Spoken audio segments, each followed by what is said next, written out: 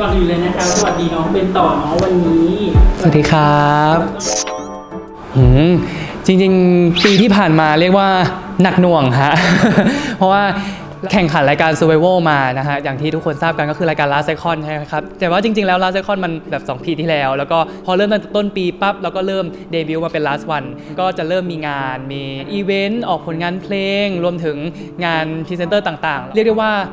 เราโตมาเยอะมากค่ะในปีที่แล้ว แบบไม่ว่าจะเป็นทางด้านทักษะความสามารถร้องเต้น เราซ้อมกันเกือบทุกวันซ้อมบ่อยมาก แล้วก็ได้พัฒนา skill ในด้านการร้องการเต้นการ performance ของตัวเองตลอดทั้งปีเลย อีกด้านหนึ่งก็น่าจะเป็นเรื่องของการทำงานค่ะเราเข้ามาผ่านการเป็นเด็กฝึก train มาอย่างเดียว แต่ว่าพอได้เข้าสังคมการทำงานจริง ๆ มันเป็นอีกหนึ่งรูปแบบไปเลย แล้วเจอคนเยอะขึ้น ได้ทำงานกับคนมากขึ้น ได้เห็นมุมมองทัศนคติรวมถึงวิธีการทำงานมากขึ้น ในด้านแบบ ทัศนคติตรงนี้ก็โตขึ้นด้วยฮะแบบหนักหน่วงมากๆในปีที่แล้ว แต่ว่าดีใจที่ผ่านมาแล้วก็คิดว่าเป็นอีกหนึ่งปีที่เป็นความทรงจำดีๆ มากๆฮะ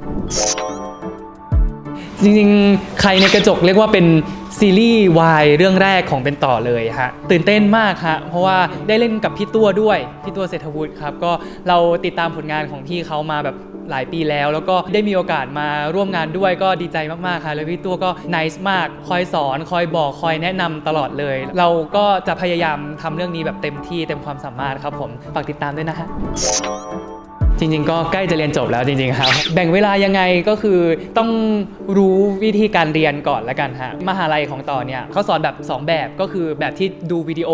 แล้วก็แบบที่เรียนสดเหมือนคล้าย ๆ เวลาเราเข้าซูมนี่แหละฮะซึ่งเวลาเรียนสดเราก็จะต้องเรียนตามตารางเวลาที่คุณครู หรือว่าที่มหาลัยแบบจัดการมาให้ ถ้าเรียนในส่วนที่เป็นวิดีโอก็คือเราสามารถดูวิดีโอตอนไหนก็ได้ ภายในสัปดาห์นั้น ก่อนวันศุกร์หรือว่าวันอาทิตย์เนี่ยจะต้องเรียนให้จบระบบมันถึงจะขึ้นว่าเราเรียนเสร็จแล้ว เราก็จะมีีเวลามีโอกาสในการจัดสรรเวลาตรงนี้ได้มากขึ้นว่า ถ้าวันนี้เรามีงานแล้วเราเลิกตอนเย็น ถ้าเราไม่ได้มีไปไหนต่อ แล้วก็เอาเวลาตรงนั้นมานั่งดูวิดีโอต่อได้หรืออะไรอย่างนี้ฮะแต่ว่าจริงๆแล้วตัวต่อเนี่ย จะค่อนข้างให้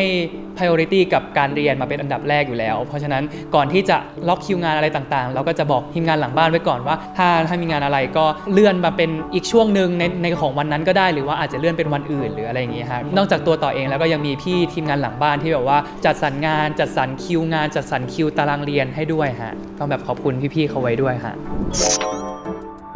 จริง ๆ ตอนนี้ทาง Insight ก็มีผลงานหลากหลายรูปแบบฮะแบบไม่ว่าจะเป็นผลงานซีรีส์หรือว่าผลิตศิลปินออกไปต่างๆ ด้วย ซึ่งตอนนี้ก็อยู่ในกระบวนการทั้งหมดครับ ส่วนตัวของต่อเองเนี่ยตอนนี้นอกจากผลงานเพลงแล้วก็ยังมีผลงานการแสดงด้วย ส่วนของน้องๆ ก็ยังมีผลงานการแสดงต่างๆ ด้วยนะครับฝากทุกคนติดตามพวกเรานะครับ Insight Artist แล้วก็ Insight Entertainment ด้วยนะครับ